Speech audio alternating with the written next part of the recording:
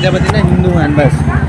हाँ। अब आज हम खाने वाले हैं गुप्ता जी अंकल के यहाँ प्रजापति अंकल जी के यहाँ पे अपने से सेव पूरी जात पात में बात हिंदू का बारिश हो और बारिश में सेव पूरी और भेलपूरी मिल जाए तो क्या मज़ा है। तो आज हम पहुँच गए हैं प्रजापति अंकल जी के यहाँ पे और प्रजापति अंकल हमको खिलाने वाले हैं सेव पूरी तो देखते हैं कैसा रहता है टेस्ट और बनाते कैसे हैं। और यहाँ पे मेरा एक फ़ैन भी मिल गया है तो बोला सेल्फी लेने के लिए।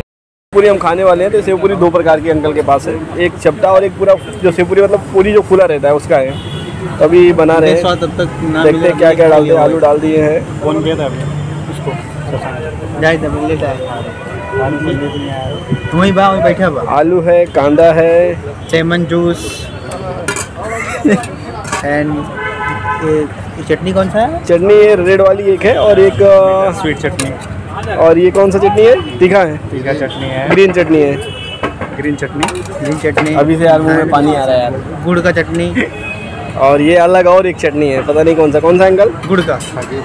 गुड़ का है। काजू खजूर का चटनी है। डेट का डेट का।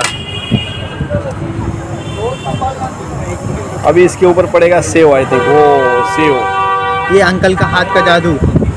अंदर गया कोई था जादू तो खाने के बाद पता चलेगा ना यार। हाउ द टेस्ट ये अंकल के हाथ के नींबू। ओ उसके ऊपर थोड़ा सा पड़ेगा। धनिया। धनिया मैं खाता नहीं हूँ लेकिन धनिया देखने में अच्छा लगता है इसलिए ले लिया।